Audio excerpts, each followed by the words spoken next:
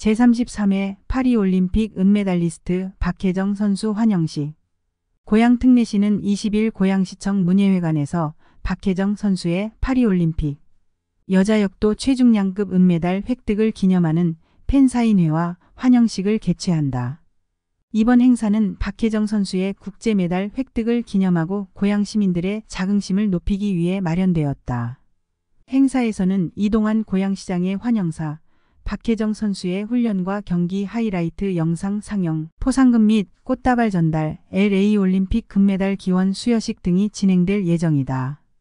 고양시는 이번 올림픽에서 3명의 국가대표 선수를 배출하며 스포츠 명문 도시로서의 명성을 확인했다. 이번 행사는 고양시 소속 박혜정 선수의 국제 메달 획득을 기념하고 108만 시민들의 자긍심을 고취시키기 위해 마련됐다. 환영식에 앞서 문예회관 로비에서는 20분간 박혜정 선수의 팬사인회가 열린다. 환영식 행사에서는 이동환 고양시장의 환영사, 박혜정 선수의 훈련 과정과 경기 하이라이트 영상 상영, 포상금 및 꽃다발 전달, 그리고 4년 후 LA 올림픽 금메달 기원 수여식 등이 진행될 계획이다.